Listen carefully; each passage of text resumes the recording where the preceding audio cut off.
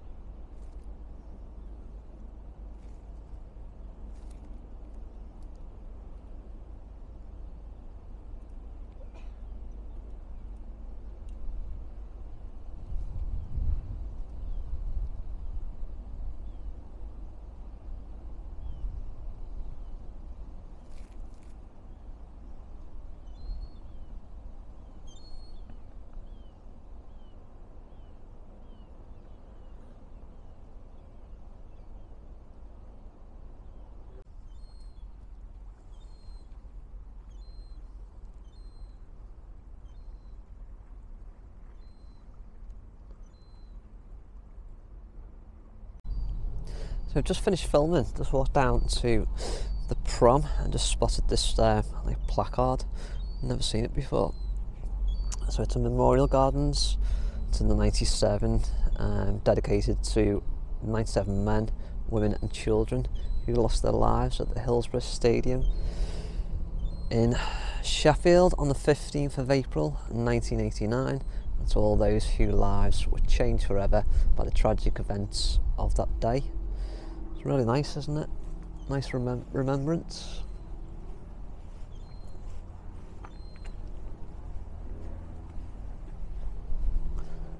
And just another one here.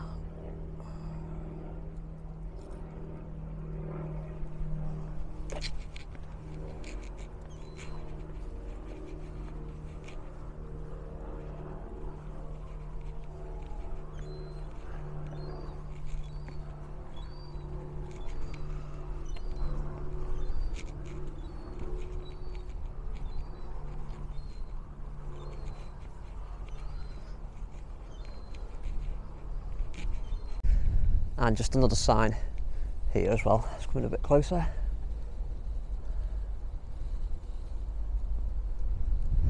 Pretty nice touch that as well. The way um, where it's placed really, just um, opposite Bramley Moore Dock. Yeah, that's, that's, quite a nice touch, isn't it, from um, Wirral Council.